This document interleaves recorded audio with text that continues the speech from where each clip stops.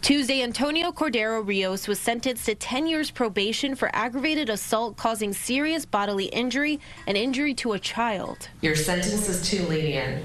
You got off easy for what you did. I've heard no remorse from you. I've heard no apology. On June 30th, 2021, Lynn Isaac became the first of 10 victims. She was the one to speak after his sentence was read. You're a monster, and I do not forgive you for what you did to me. On that day, Lynn was on a run when she was confronted by a stranger in a mask. Yes. After I passed you, I could sense your evil behind me.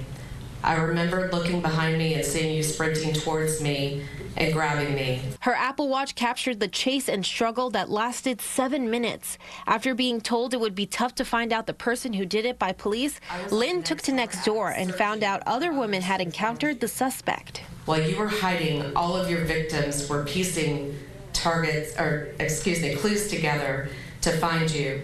In the end, it was you that helped us. Those victims were able to piece together the make and the model of the car, as well as the license plate, even creating a map of where all the incidents happened.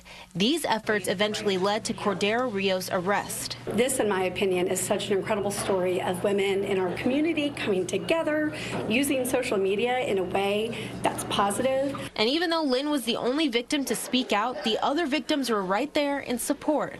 We were very lucky to come together and bring all the women together to support each other. On top of 10 years probation, the judge announced Cordero Rios must stay away from all victims and children and register as a sex offender. His defense attorney told Fox 7 his client is remorseful. My client, in pleading guilty, recognizes his actions. He's accepting responsibility. The judge assured the victims this is a zero tolerance probation. I give you my word.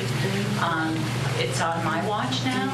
There will be no more survivors. This is it. It ends here.